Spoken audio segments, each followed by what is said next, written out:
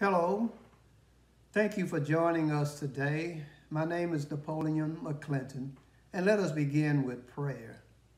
Our Father in heaven, we come today to thank you for another day that you have made.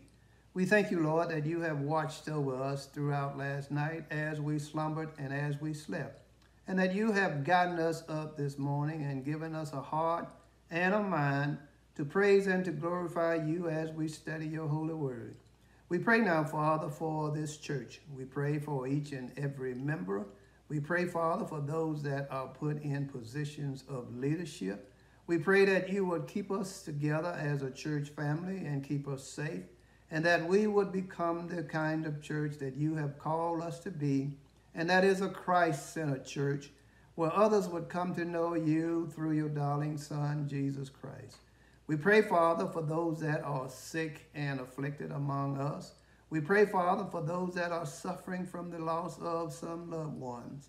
We pray, Father, for those that are dealing with the many issues surrounding their lives the economic slowdown, the global pandemic, the fears of the rise in inflation and the downturn in the economy.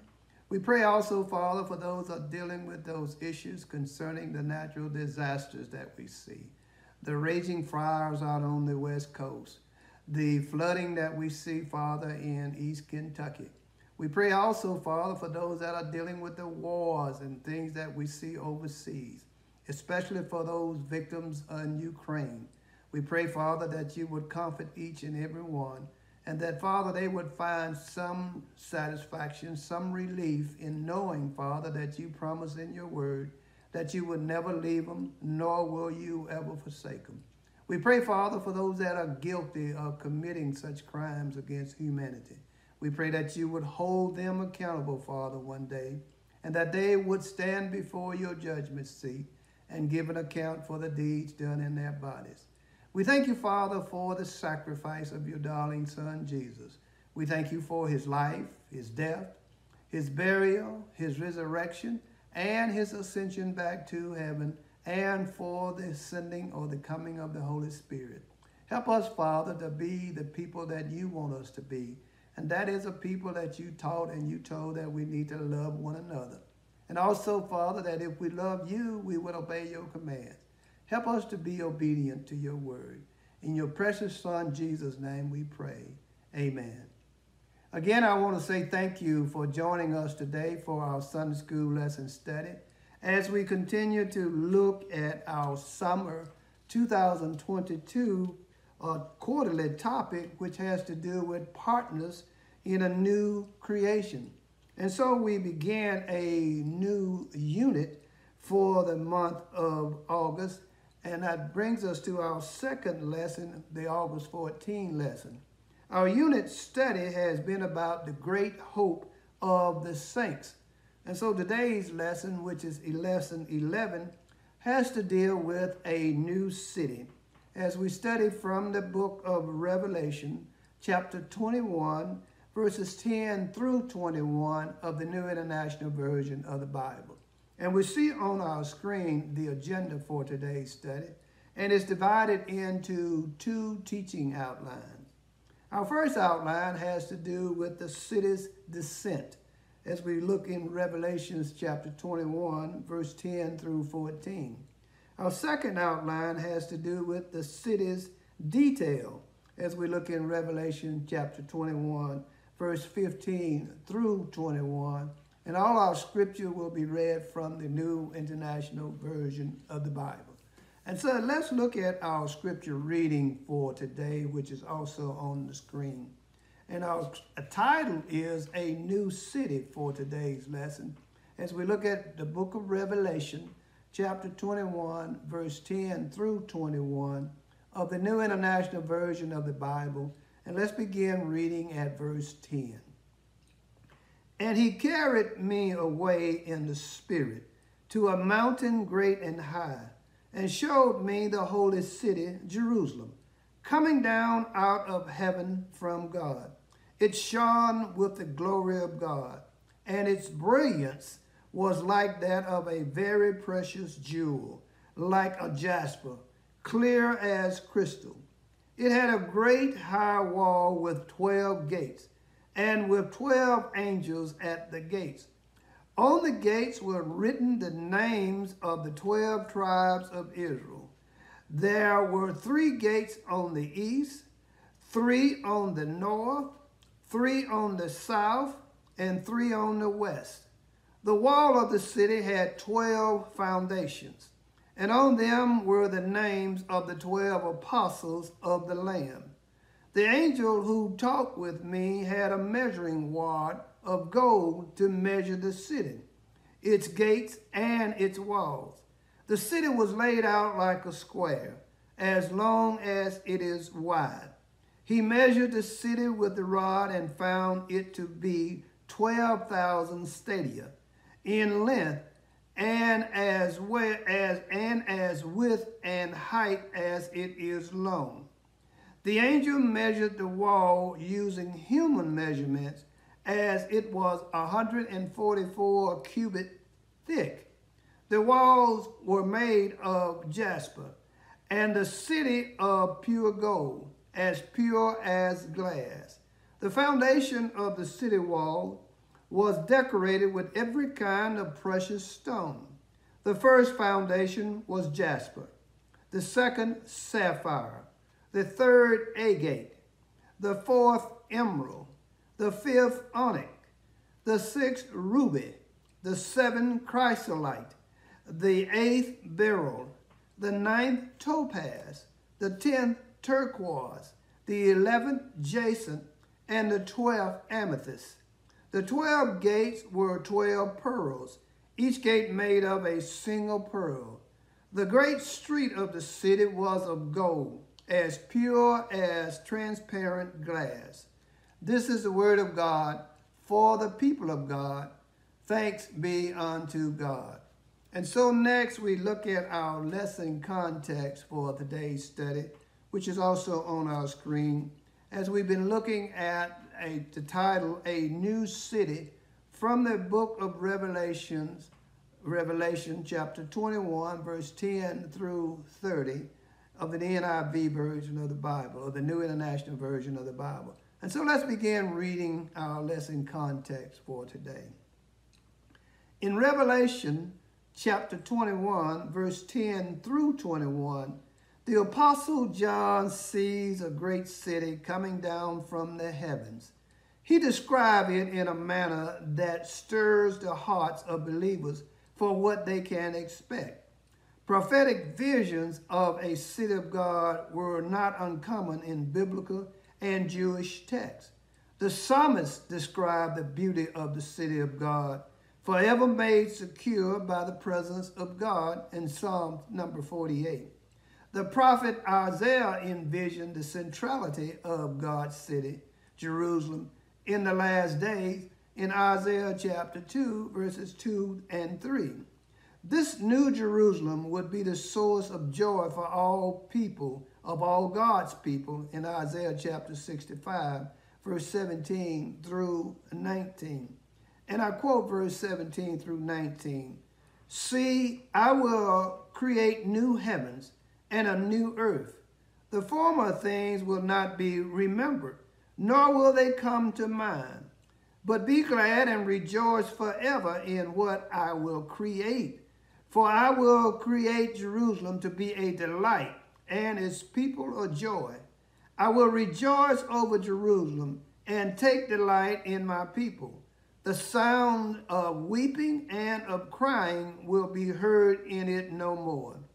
Tobit which is a Jewish text written in the intertestamental, uh, intertestamental period, describes a heavenly Jerusalem, very similar to John's vision. The city would be rebuilt with precious stones and gold. It would become a place where the God of Israel would be worshiped in Tobit 13, 16018. A, ver- a vision of the prophet Ezekiel provides the most notable Old Testament comparison to John's vision. Ezekiel was taken to a mountain and shown a vision of what appeared to be a city in Ezekiel chapter 40, verse 2. The bulk of Ezekiel's vision included the dimensions of a heavenly temple and its court to reflect God's glory in Ezekiel chapter 40, verse 5 through chapter 43, verse 12. The vision included a life-giving river flowing from the temple in Ezekiel chapter 47, verses 1 and 2, and the boundaries and divisions of a re-established Israel in Ezekiel chapter 47, verse 13 through chapter 48, verse 29. The vision culminates as Ezekiel sees the gates and dimensions of the city in Ezekiel chapter 40, verse 30 through 35. A close comparison between the visions of Ezekiel and John will reveal differences.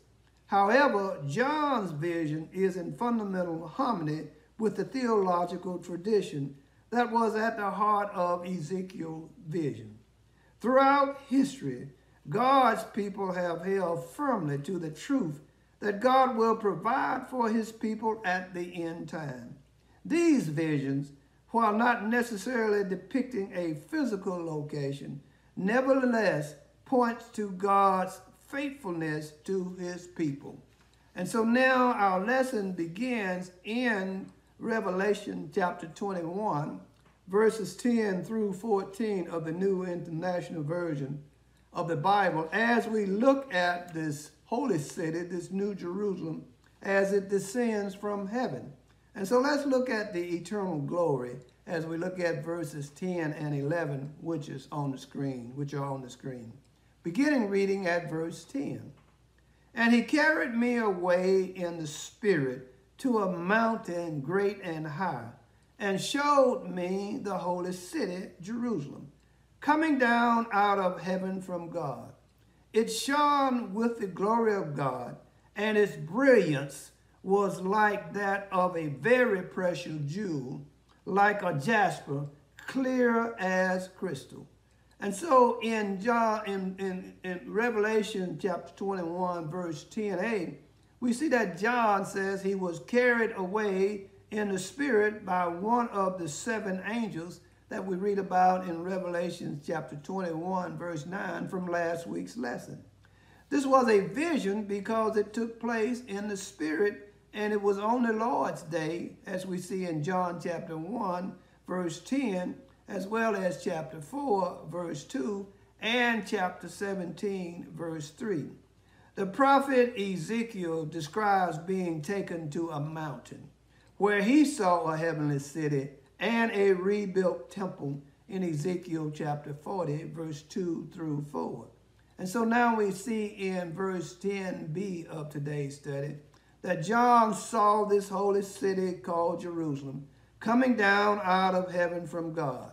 So God will establish this holy city, the New Jerusalem, the place where he will dwell with his people, his bride, which is the church, in Revelations chapter 21, verse 2 from last week's study. Many prophets, however, held expectant hope of a new Jerusalem or for a new Jerusalem.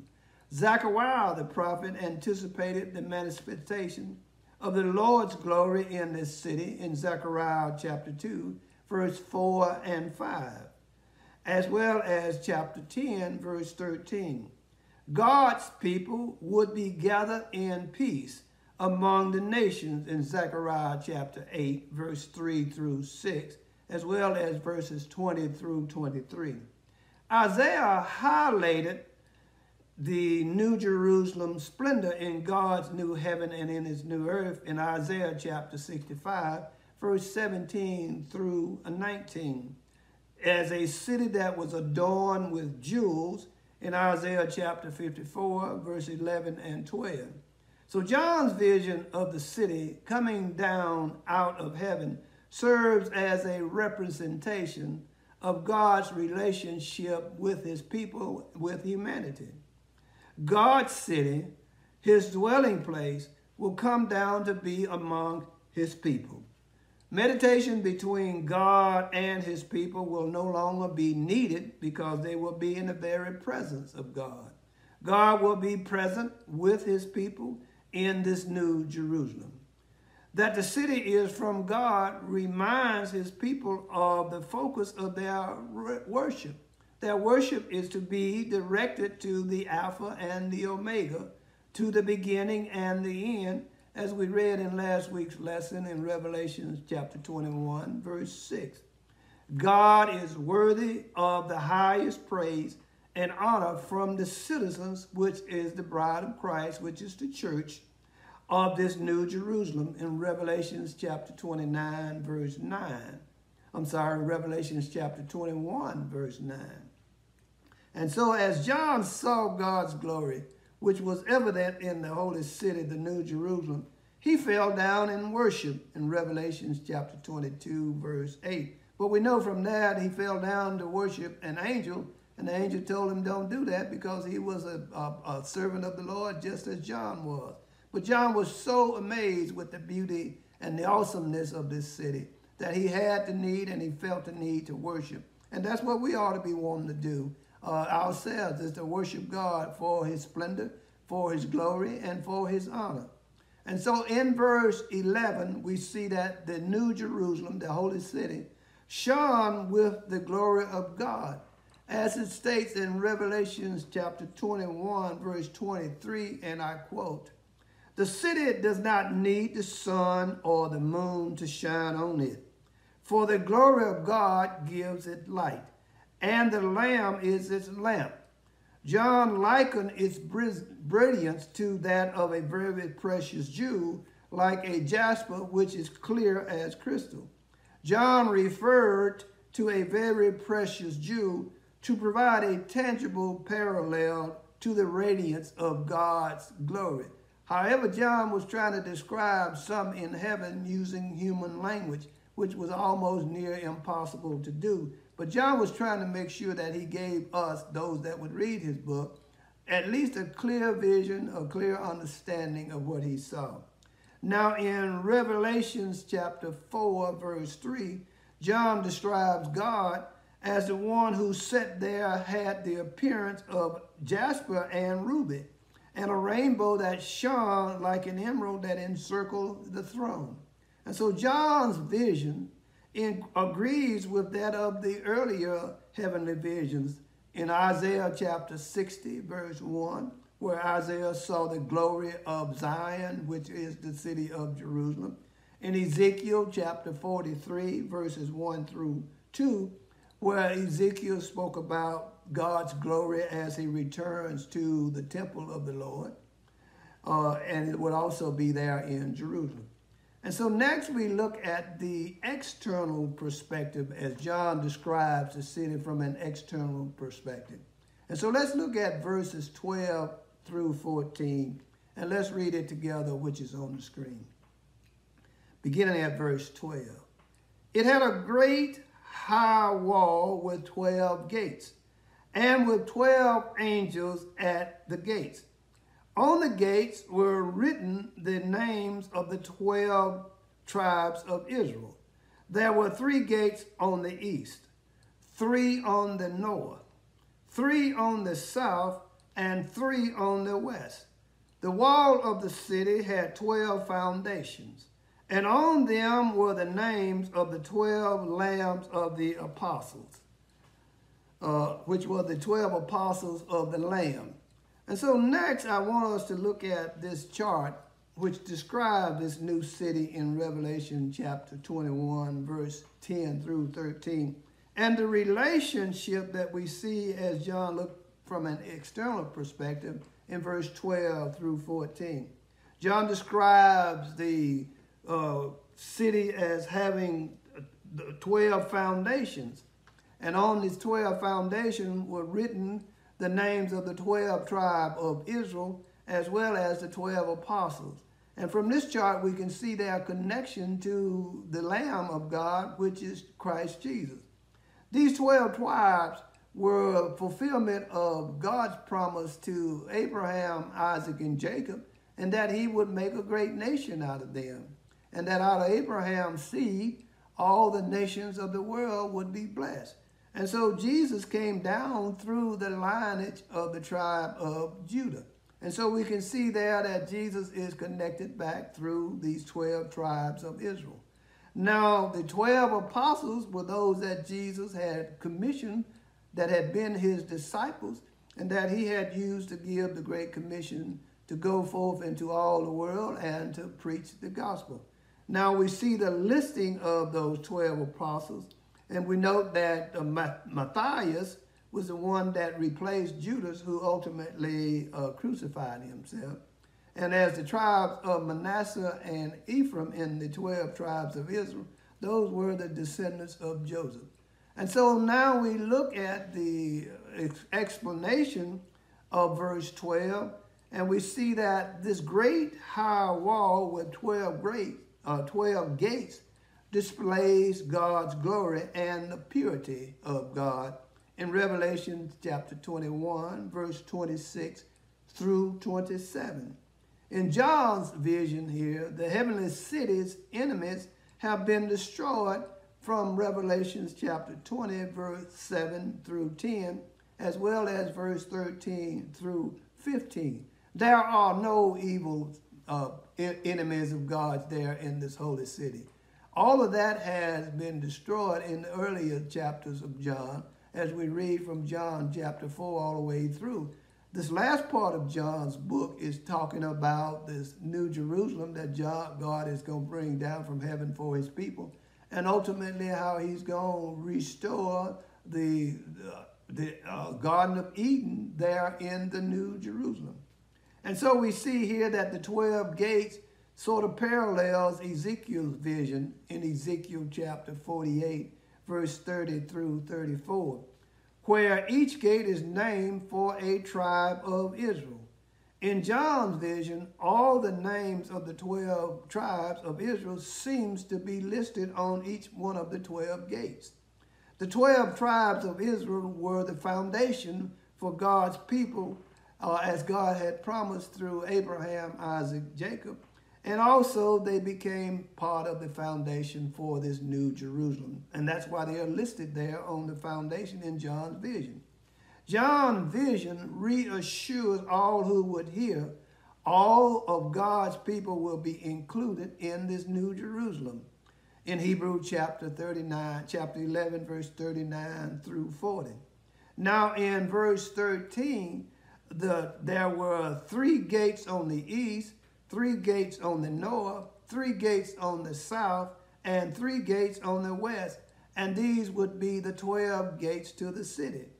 These 12 gates, though, would never be closed because there would be no evil there in the city, nor will there be any enemies of God. In Revelations chapter 7, verse 9 through 10, John describes this great city and the great multitude that's there. And I quote Revelations chapter 9, chapter 7, verse 9 through 10. The great multitude in white robes. After this I looked, and there before me was a great multitude that no one could count, from every nation, tribe, people, and language, standing before the throne and before the Lamb. They were wearing white robes and were holding palm branches in their hands. And they cried out in a loud voice, Salvation belongs to our God, who sits on the throne and to the Lamb. And so we see in verse 14 of today's study that these 12 foundations that would, would have been visible as this new Jerusalem descended from heaven in Revelation chapter 3, verse 12. On the 12 foundations were the names of the 12 apostles of the Lamb, which is Jesus Christ.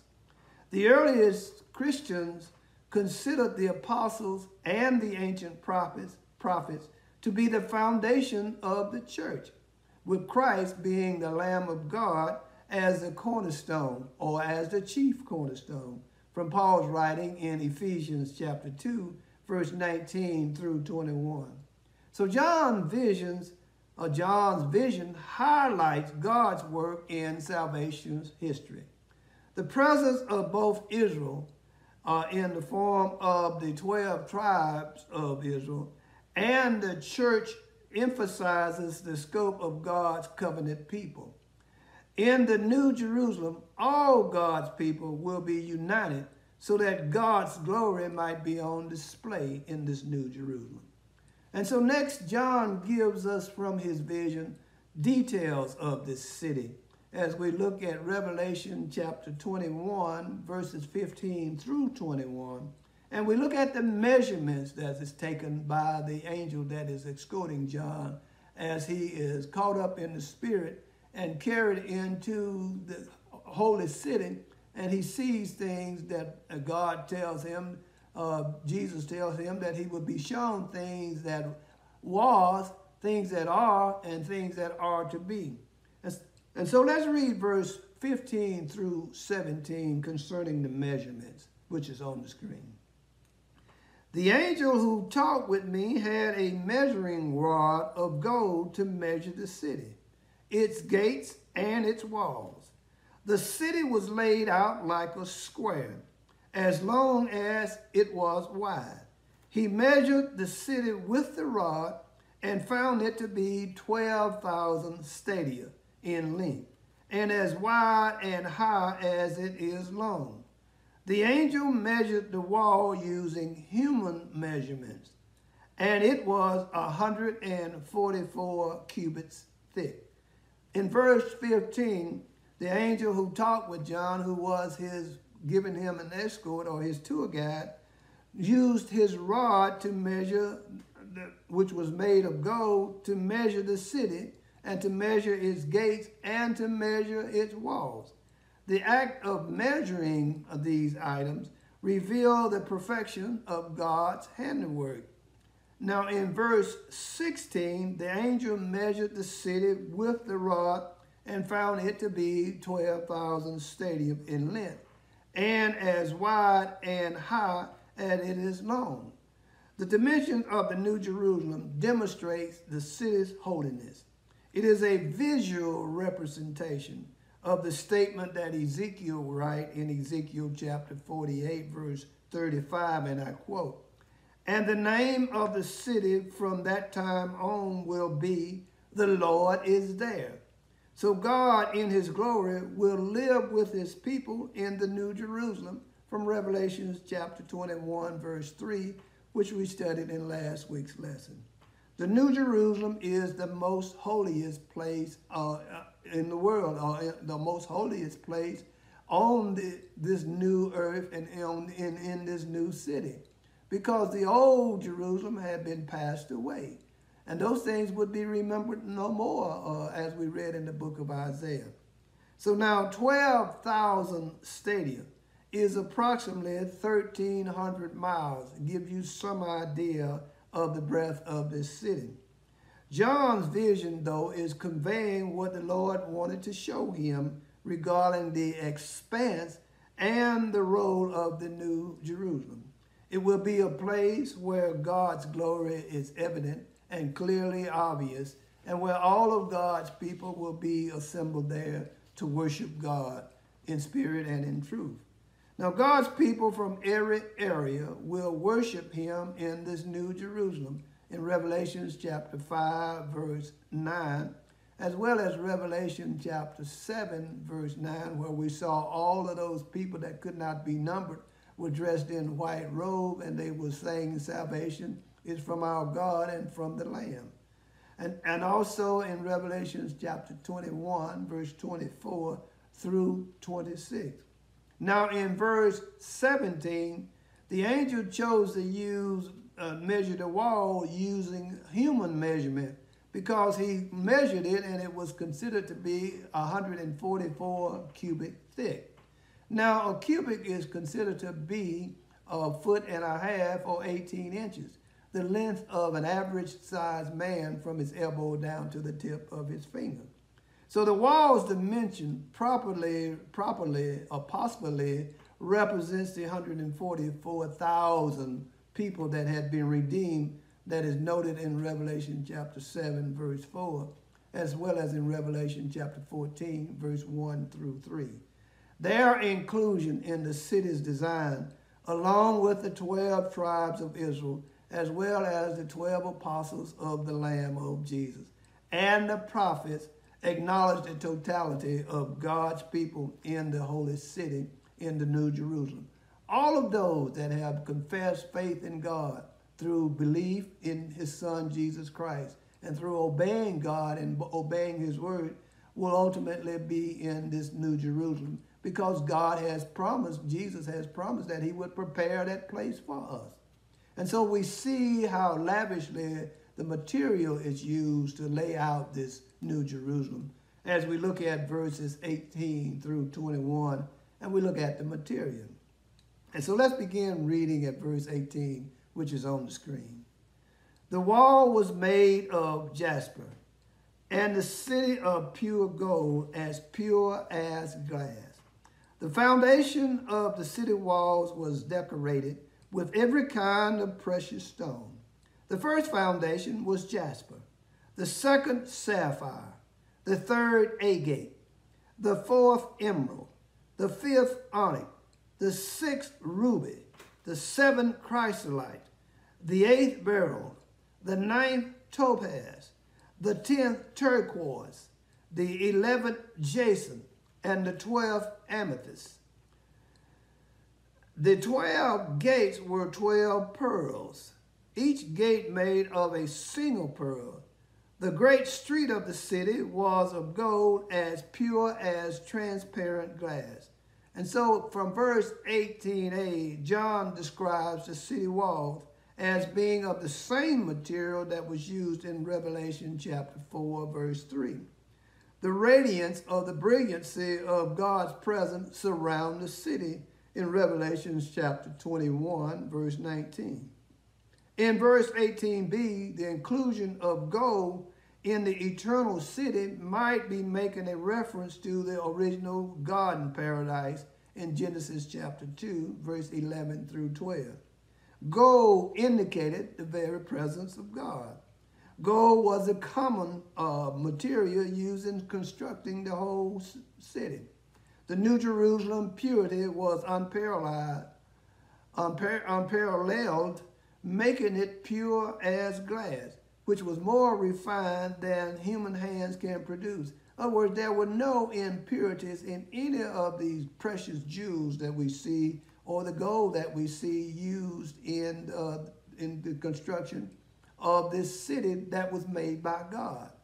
And so now we look at verse 19 and 20. And we see in verse 19 and 20 that the foundation of the city walls was to be decorated with every kind of precious stone. And that was somewhat unusual, but it was also indicative of the city's heavenly nature. God does not reserve splendor or grandeur in the construction of his city. The prophet Isaiah had foretold that Jerusalem would be rebuilt with precious stones and gems in Isaiah chapter 54, verse 11 and 12.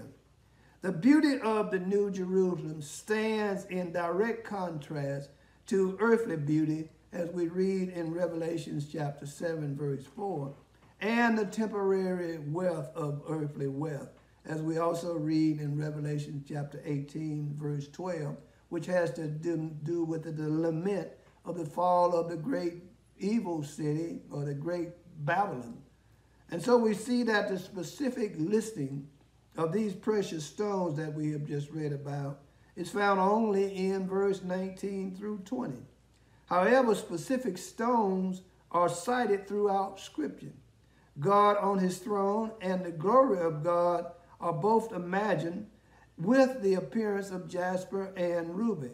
A stone older tra uh, translation of scripture might call sardius in Revelation chapter 4, verse 3. The deep blue shade of sapphire invites comparison to a lapis lazuli, another stone known for its blue shade in Exodus chapter 24, verse 10. Modern understanding of agate sometimes called chalcedonian, viewed it as a type of quartz, although its meaning here in today's scripture is quite unclear. But now in Revelation chapter 4, verse 3, John describes a rainbow that shine like an emerald surrounding God's throne. Now, in Revelation chapter 20 of today's study, it is the only mention of these particular precious stones or precious jewel, which is chrysolite, beryl, topaz, turquoise, jacinth, and amethyst in the New Testament. The New Jerusalem is without a temple because there is no need for a mediator to work uh, of the priest to be done because it's no longer needed because God is in their presence. In other words, God dwells with his people as he dwelled among kings um, of priests from Exodus chapter 19, verse 6, as well as from Revelations chapter 1, verse 6, and Revelation chapter 5, verse 10, as well as Revelation chapter 20, verse 6. So the foundation of these stones serve as an outerwear for the heavenly city, such as when a priest would have his uh, outfit, the high priest would have his outer garment uh, equipped with precious stones. Now the bride, which turns out to be those that God has chosen and are God's redeemed people, have readied herself for the marriage with the bridegroom. The heavenly city is described as the bride, the wife of the Lamb, which is Jesus in Revelation chapter 21, verse 9, as well as chapter 21, verse 2. The city's ornament and precious jewels are like those worn by a bride on her wedding day, as Isaiah points out in Isaiah chapter 61, verse 10. The precious and beautiful stone inlaid in the foundation of the New Jerusalem highlight the precious and beauty of God's created acts of God's creative work. Each unique stone shows us that God is a God of beauty as well as a God of purpose. The psalmist declares that from Zion, perfect in beauty, God would shine forth in Psalm number 50, verse 2. Imagine you worshiping the God, the Creator, the great God, the Holy One of Israel in this heavenly city one day.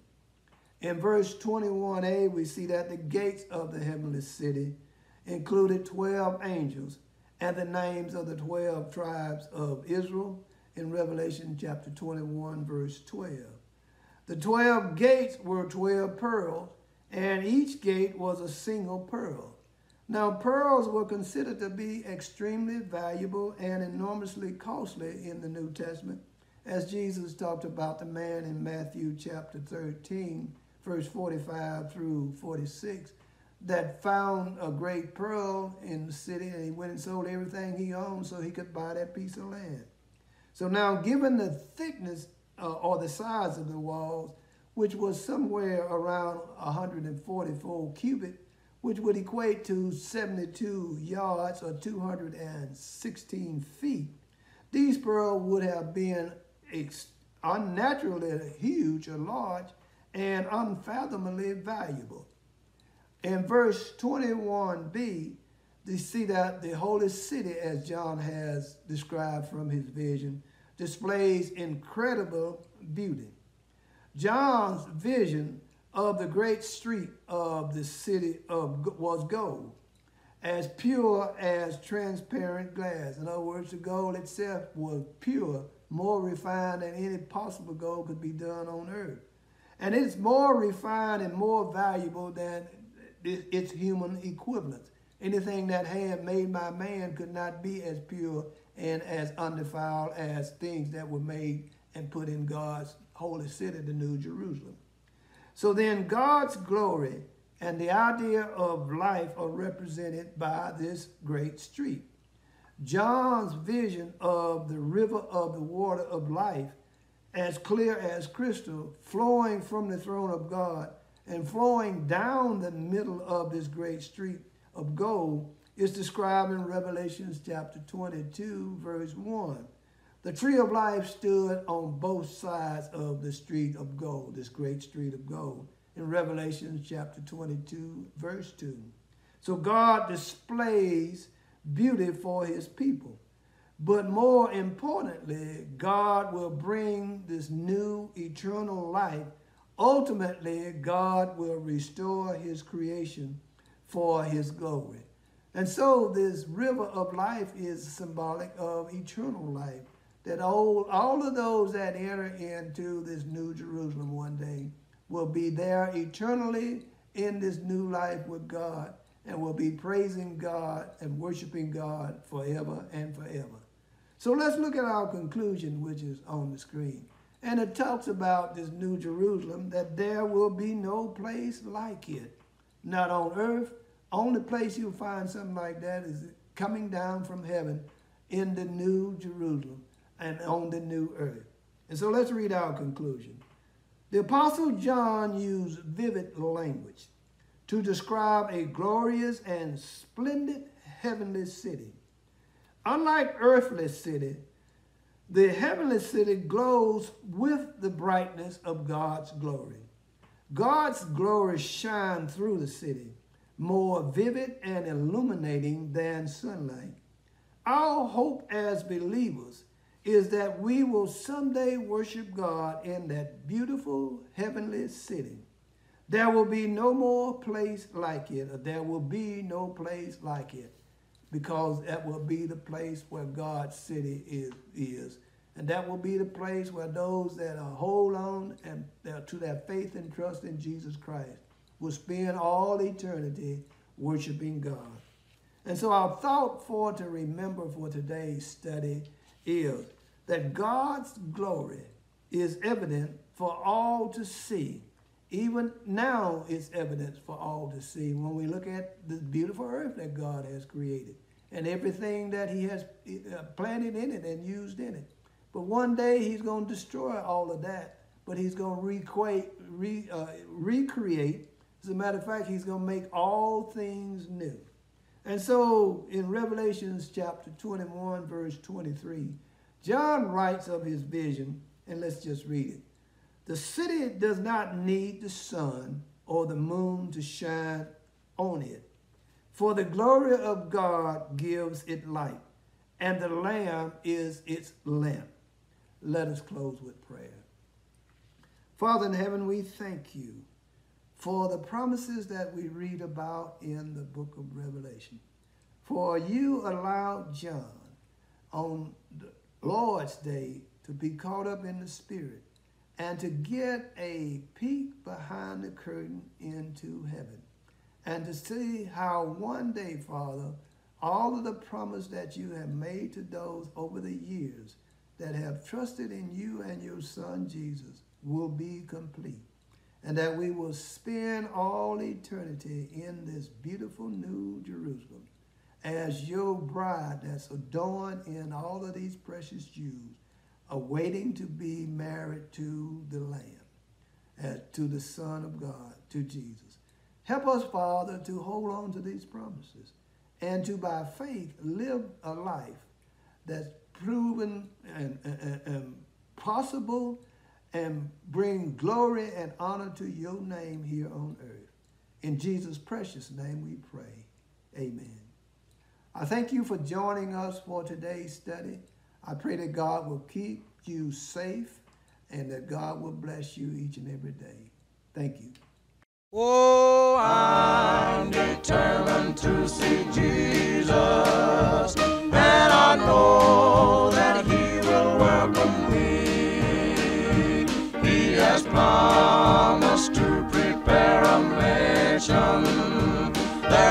well through all eternity.